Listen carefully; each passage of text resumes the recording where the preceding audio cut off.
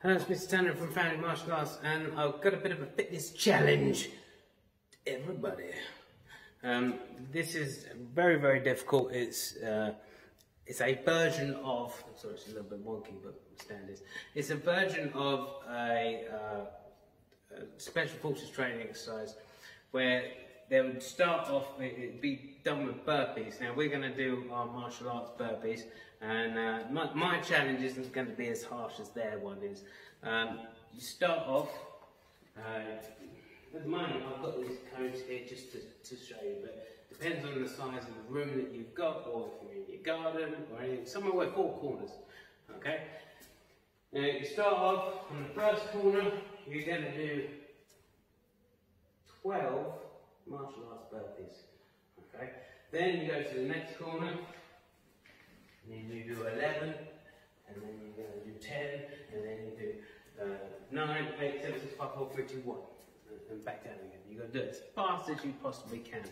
Now, martial arts burpee, uh, or how we do our martial arts burpee, is uh, you'll drop down, okay, so uh, I'll give you a side profile.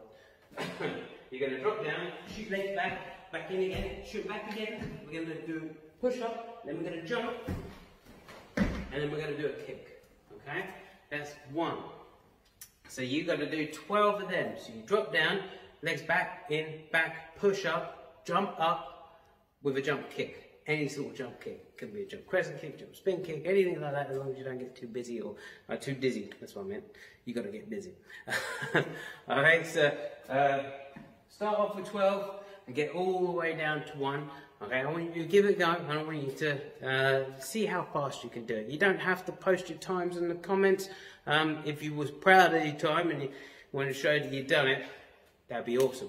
Um, but if you're, you're not sure about it, but as long as you tried your best and you didn't give up, then uh, that's all that matters. You might be like, you might be on number, let's say you've done, you've done 12, done 11, you're thinking I'm really tired now. So you get to 10, you think, oh, I want to stop, this is horrible. Oh. You think, okay, I trust, I just get to 9. Okay, you do 9. But remember, it's going down each time. And Okay, the moment you get to about 6, it's, it's like, well, I've done all this already, I might as well carry on and finish the whole lot. Um, but the start is, is hard, right? It's, it's psychologically hard. But that's, that's the test. Are you able to, to feel this tired and still keep going, even though you're not going to win anything, you're not going to, uh, no one's going to be like, oh, well done, like that's, that's amazing. They might do, and if they do, that's that's that's awesome. But can you train um, under your own steam? Can you train and get better because you want to and you want, you want to get better instead of someone having to tell you you've got to do this all the time? Because in life, like, there's not always going to be someone there telling you you've got to get stuff done. You just got to do it off your own back. And the thing about martial arts is, if you want to get good at martial arts, like really good at martial arts, you have to put the time in and, and you have to motivate yourself to train.